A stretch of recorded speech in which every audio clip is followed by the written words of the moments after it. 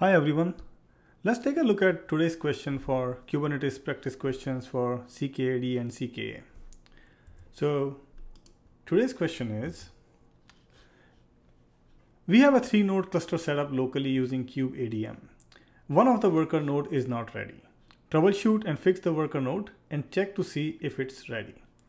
So I have a Kubernetes cluster setup with one master and two worker nodes I'm logged into my master node with a root.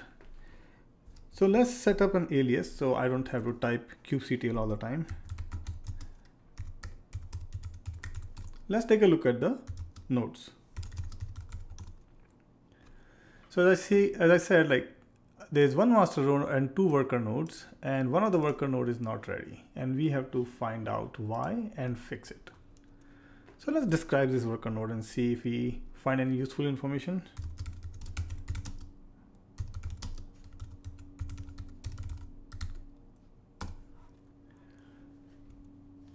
So if you see this uh, section here, it says kubelet stopped posting node status.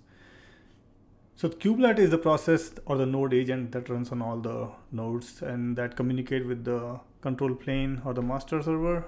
And apparently there is some problem with the kubelet process on the worker node and it's not able to post the node status. Okay, so let's log into that uh, worker node 2 and see why. So I'm going to SSH into the worker node 2. I'm going to elevate myself to root.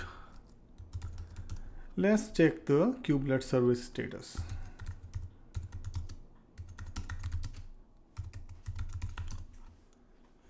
Okay, so this is what it says. Service is activating, it's not active. Okay, so there is a config file here. Let's take a look at the config file and see if we find some information from there. So cat. It seems like it's it has a kubelet config file configured at this location. So let's examine this file.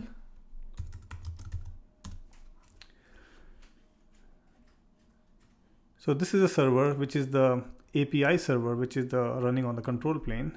So let's take a look and see if this host and the port is correct. Go back to the master node and let's take a look at knode. So the IP address of the master node is correct 10.0.0.10. That's why it is configured 10.0.0.10. Let's check take a look at the port. So this is set up, uh, this cluster is set up using kubeadm. So the default manifest files are located at Kubernetes manifest. And let's see, we should check the kube API server file. I'm going to grep uh, for, let's grep for 6443 and see if there's some information. So apparently kube servers advertise endpoint is at 6443 so the port and the host is correctly set up on the kubelet config file. So let's take, take a look at more stuff.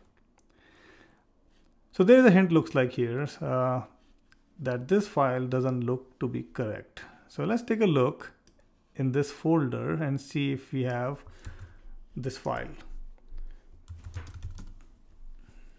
So apparently not. So this is our culprit. So we have to fix this to match the kubelet client current PEM.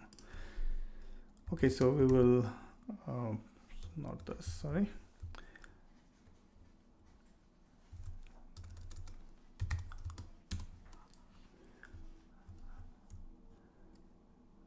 So let's fix it to the correct file name. This looks correct. Save it. Now since uh, we have to restart the kubelet service, so let's reload the daemon.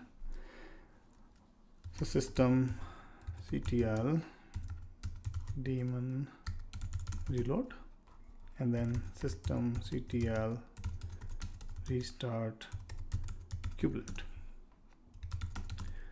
Let's check the kubelet status now. Systemctl status kubelet and yes our kubelet service is running. It's active. And our node should be ready on the if we can go back to master node and check our node status. Okay get node.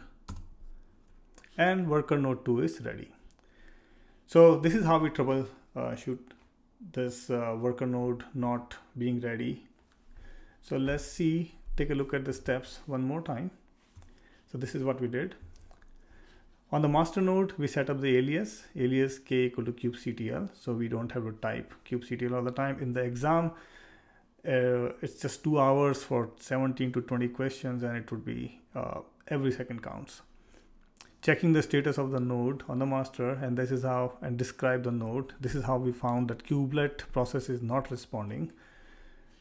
So we went to the worker node and we checked the kubelet status, which was activating but not in activate active status. We found and fixed the issue. The issue was the pem file's name.